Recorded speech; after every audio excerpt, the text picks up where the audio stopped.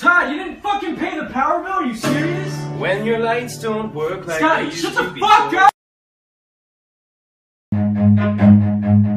Run.